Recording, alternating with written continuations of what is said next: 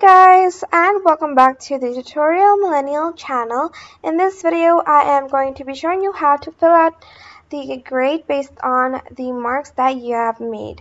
Um, I'm just going to select this um, square and then I'm going to type in um, equal VLOOKUP and then I'm going to click on this one um, put a comma and I'm just going to select this bit right here press F4 on my keyboard and then I am going to press comma 2 comma 1 and close parentheses and press enter and then again this will pop up just as autofill just press the check mark button and now you have your grades here and you can sort them out too.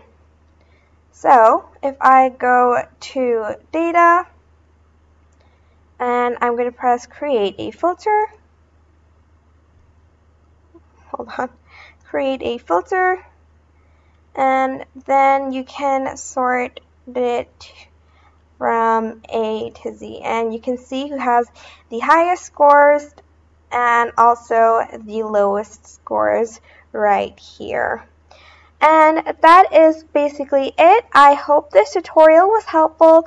Don't forget to like, comment, share, and also subscribe to this channel if you haven't done that. If you have any questions, just leave it in the sorry, just leave it in the comment section down below, and I will try my best to answer them all. Thank you so much for watching. Bye!